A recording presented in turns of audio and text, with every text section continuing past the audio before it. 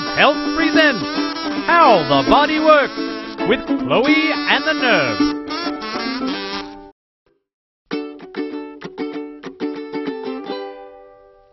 Oh, you gotta,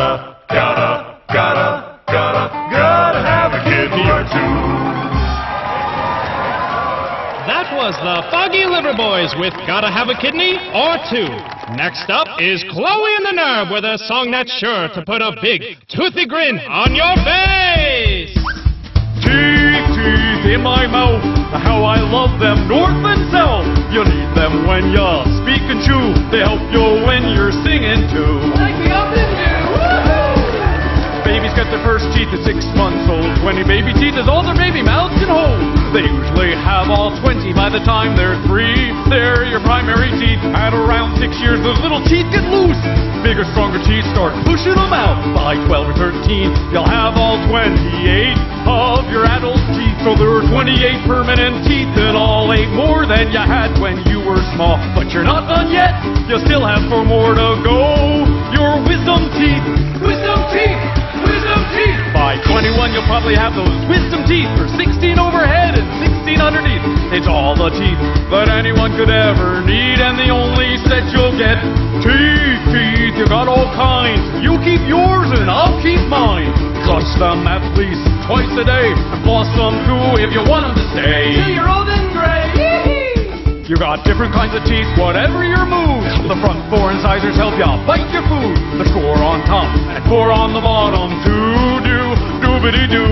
Next are your canines, the spiky teeth, helping tear tough food.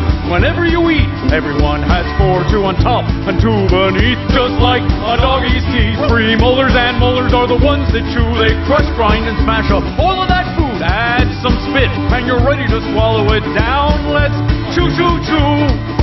Chew, chew, chew. Those wisdom teeth not only come in slow. Once they're there, they might just cause you don't really need them, so your dentist can take them out. Bye bye, teeth, teeth. They live in your jaw. They help you munch, bite, nibble, and gnaw. Some folks wear braces to get their teeth aligned, so their teeth work better and their smile looks fine. The white part we see on top is the crown, and below that the roots stretch really far down. The enamel outside is what makes them hard and bright. If you brush them right, the pink stump the tooth sits in is your gum. The roots of the teeth are covered by cementum. It helps anchor those teeth to your jaw so they don't fall out. Inside that is the dentin around the pulp. The pulp's nerves send pain messages to your brain. It says this soup's too hot or this ice is too cold. Brr. Sometimes the cavities would hurt you though. Acid from plaque burned a hole through the enamel, which is why we brush at least twice a day and floss at least once. Nerve. Do I have to floss every tooth? Just the ones you want to keep. Teeth, teeth, keep them in your mouth. Brush them twice a day or more, north and south. Floss each and every day too to remove old food and nasty plaque food.